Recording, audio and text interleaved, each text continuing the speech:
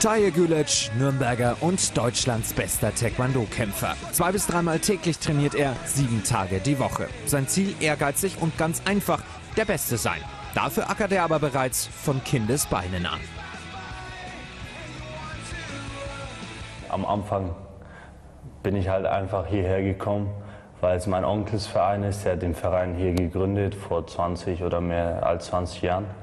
Da hat mich mein Vater hierher genommen dann habe ich angefangen, aber mit zwölf kam dann mein erster Titel, äh, Kadetten-Europameister.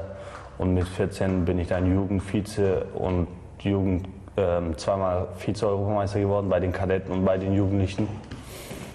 Dann habe ich mir gedacht, okay, ich habe das Talent dazu, wieso mache ich es nicht weiter? Und ab 14 ging es dann richtig bergauf mit mir.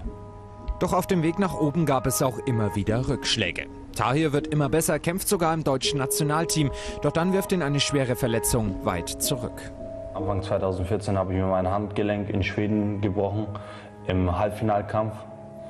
Und dann ähm, war ich zwei Monate weg, also kein äh, Turniere mehr. Und direkt mein nächstes Turnier war dann die Europameisterschaft. Und da habe ich dann echt gemerkt, dass mir äh, Sparring gefehlt hat, das Training gefehlt hat wegen dem ähm, Handgelenkbruch. Und ja, da musste ich mich wieder hochkämpfen. Ein Beispiel, dass Taya sich immer wieder zurückgekämpft hat, die Weltmeisterschaft 2013 in Mexiko.